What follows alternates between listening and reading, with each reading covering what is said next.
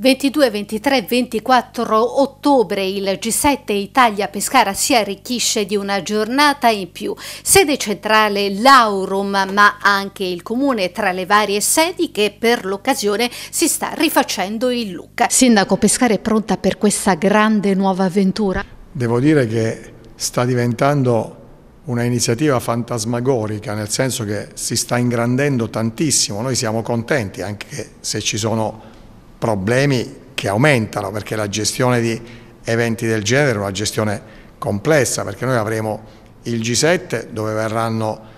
30 delegazioni da 30 paesi del mondo, non soltanto i sette paesi più industrializzati della terra, ma anche paesi che parteciperanno ai temi legati alla cooperazione e allo sviluppo. Poi ci sarà il B7, cioè il Business 7 con la Confindustria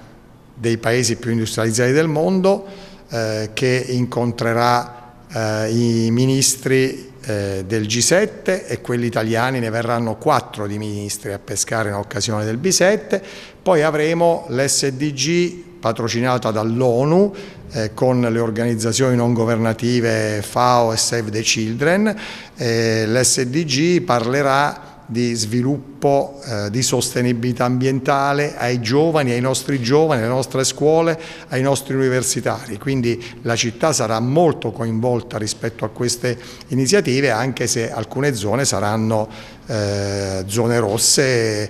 per esempio l'Aurum dove si svolgeranno le sessioni del G7 e poi ci sarà il comune protagonista assoluto perché ci sarà anche qui un'assemblea straordinaria dei sindaci della provincia di Pescara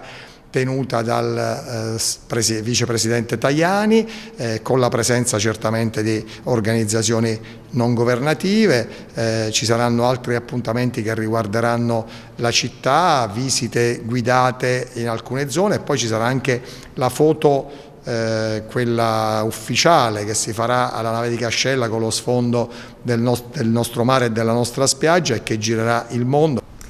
Lei dice che però i disagi saranno contenuti, ma è possibile in vista di un appuntamento così grande?